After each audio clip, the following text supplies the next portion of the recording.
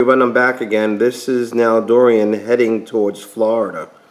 This is now a major hurricane, a category four, winds at 178 miles an hour, heading towards Florida right now. If it continues in this path, it's going to hit between Miami and Port St. Lucia.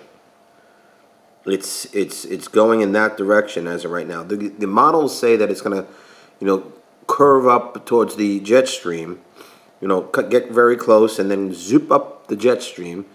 I don't think that's going to happen. I think it's going to I I mean I hope it happens, but it looks like it's going on for a dead-on collision with Florida. Um, I don't think it's going to hit the jet stream and scoot up the northern coast. I think it's going to go straight through. Maybe it'll pull a little bit, you know, up the jet stream, up, you know, follow up the coast of of Florida, but I think it's going straight into Miami or into that area.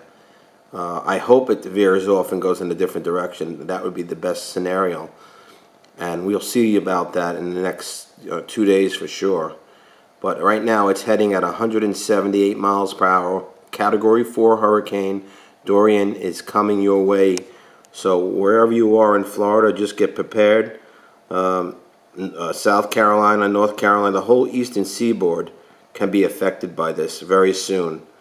So this is a Category 4 hurricane heading towards Florida right now. It's hitting the Bahamas right now as I speak, going through uh, Nassau Paradise Island, coming up to that Nassau Paradise Island area, and it's it's it's just uh, 178 miles an hour. This thing's fast. It's big.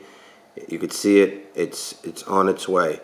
All right, uh, get ready for this. I'll be back with another update in the next hour to show you which way the path is going. But right now, if you look at it, you see how the eye is moving towards Miami actually, or in between St. Lucia uh, so, uh, and Miami. So it looks like it's going to hit maybe hit Port St. Lucia and Cape Canaveral area.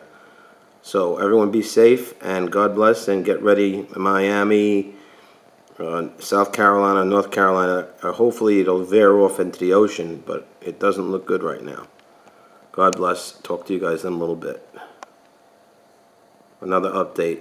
Dorian on its way to Florida. 278 mile an hour winds.